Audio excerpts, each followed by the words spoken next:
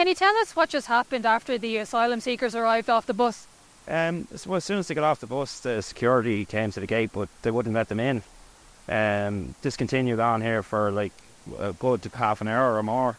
Um, the security were actually going up and down the lane there. Um, you could hear the radios going off, off, and um, they just continued to not let them in. And as they did let them in, eventually they filtered them in one by one. Do you think were, what, did they have reason to be intimidated by your presence here today, the security or the asylum seeker? They've absolutely no reason. We're here peacefully. We're just trying to highlight the issue of Crooksling and um, that we want it back for our community.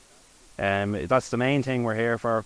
We're, we're not anti-immigrant. We're just want our community listened to. And while they were being kept outside in the rain, I saw that a number of them walked off into the distance. Like, do you know where they might have been going?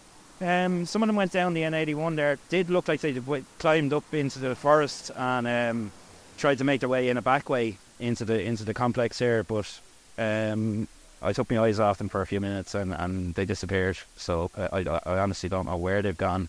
They could be still in the middle of the fields up there trying to get to get make their way in.